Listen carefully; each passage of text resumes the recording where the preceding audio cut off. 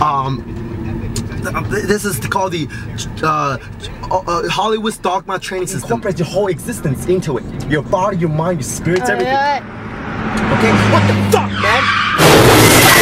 Watch out, man. I'm trying to get to the gym, alright? So the number one question is, where is John Otis Hollywood? Uh, I don't know myself. That's the big mystery in the fitness world. John has been missing in action for, this is I believe the sixth week now and nobody's heard from him since. And um, a lot of people are kind of getting mad and bashing him but I don't I, I don't look at him any differently. I think he's a great coach and he has a fucked up mind. And that is why one of the reasons why uh, we started working together is because I knew he was there was something going on here that was abnormal which is probably why he was such a good coach the last I heard he had a stroke. And see I don't think you're only John knows what's going on. And everyone else are just making assumptions and judgments.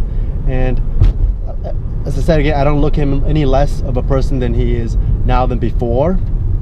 He's still a human being and I hope he's all right. And the funny thing is I made a video about a month ago that said unlike coaching for me personally is even more beneficial than and effective than coaches in that actually you know coach you in the physical world like normal coaches that will go to the gym and spot you and talk to you about your wife and your kids and stuff like that. The lack of the presence make the presence even more omniscient which means that John Otis Hollywood by not being there physically during my workout and during my dieting phases he's there in the back of my mind. He, he, he's in the background all the time. And ironically, two days after I made that video, John Otis Hollywood disappeared. Okay, now here's what's really trippy. It really might fuck me really hard for a while. Apparently, John hasn't even been around for the last six months. I didn't know this, but some people that were closer with John uh, knew that he had an assistant. And his assistant's name is Cam Lam.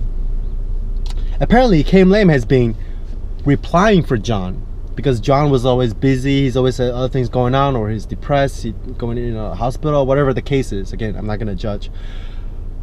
Lampkin has been replying John's messages. He's been doing everybody's report every one of John's clients report for the last six months. So I'll be like emailing, thinking that was John and getting reports back week after week, getting the macros.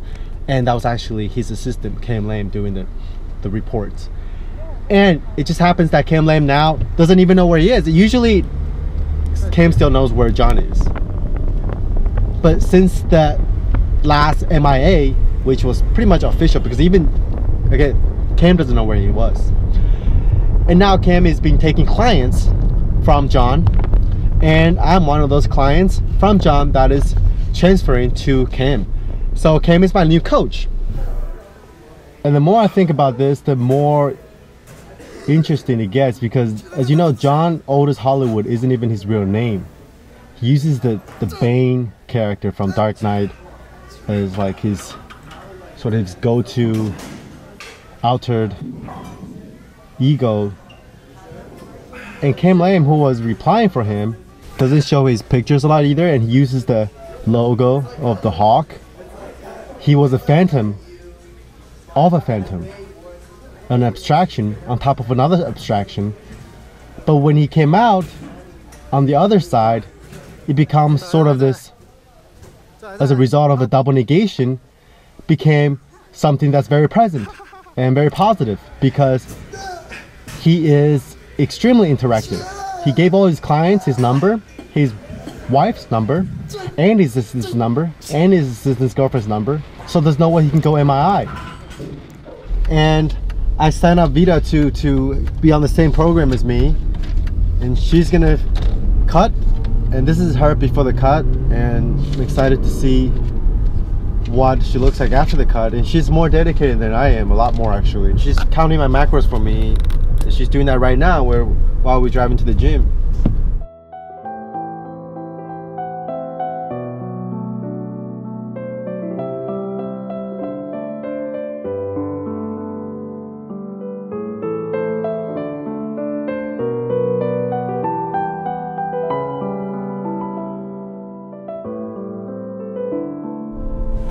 So I'm pretty happy because new coach, new start. I'm pretty excited.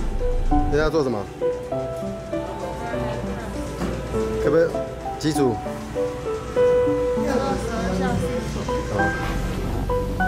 So the more I experience life, the more I realize that everything runs in cycles.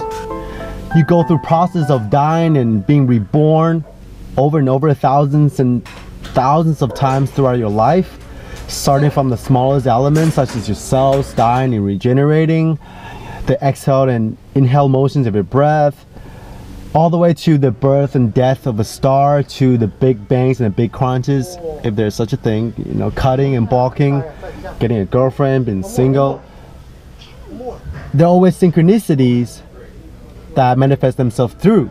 So in a way, you experience the same thing over and over again with a little bit of a twist. Let me give you some examples. The first time that I hired John Otis Hollywood, I had just gotten a new camera, the Canon Mark III. But that camera has been stolen. So for the last two years, I've been just filming with my GoPro and my iPhone. But now that I hired Cam Lam, my new camera arrived. I've waited for two years to save up and find the perfect camera. And it's the Sony A7S II Alpha. And I'm gonna film today's workout with it. And also the first time that I brought Vivian to America was her first time in America. We came here because we were trying to escape the Taiwanese mobs and the Taiwanese police for getting on the news, for having sex on the street on a, on a mattress. And you call stupid shit art. You're a faggot. Alright, man. So, fuck you, Mr. Frank Yang. You narcissistic prick. Damn it. And this time around, Vida came to America for the first time in her life. After, also after we got on the news. And when me and Vivian was here, The Dark Knight just came out. Dark Knight Rises. And this time around was Superman versus Batman. And during the last cycle, we had this big black guy who comes into the house all the time as a plumber, and he sort of became part of our family and ate with us and everything. And this time around, there's another plumber, and he's a little bit smaller, but nevertheless, I just have to say I agree with um, Matthew McConaughey when he said in True Detective that time is a flat circle, and you just kind of it's kind of depressing. You just keep going back to the same thing over and over, like Nietzsche said. But every time that you go through a cycle, hopefully you make a little 但 upgrade. 是看到还是很肥肉， Like 看你还好。对，所以说你你那个肌肉啊 啊，如果 BBC 做太油 Now 啊 it's double 它会 sided 生气， 他生气，他那个浩克出来会会打我 的耳光，真的他 Yes, 100. Yes, 100. Like that? 100. 还有什么还要考一下？称重，哦，称。嗯。搞得这么神经质，练健身的头脑都有问题。